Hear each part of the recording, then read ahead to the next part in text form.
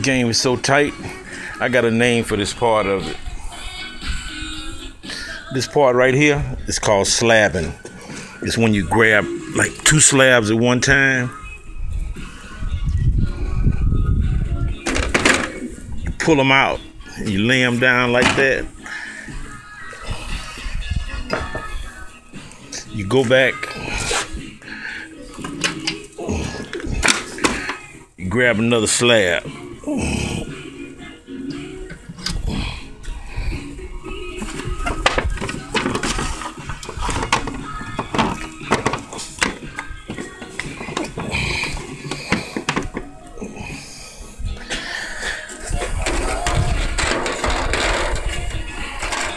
your next pan ready.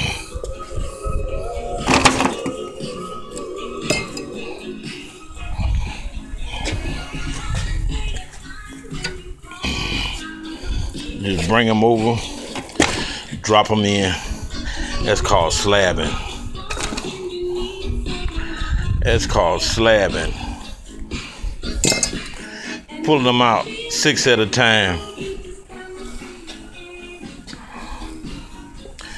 Orion cook cooker still hot.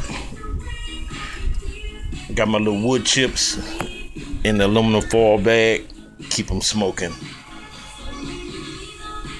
We ready to drop some more ribs in there. And when they're burnt, gotta clean it out. Wood chips soaking in oil.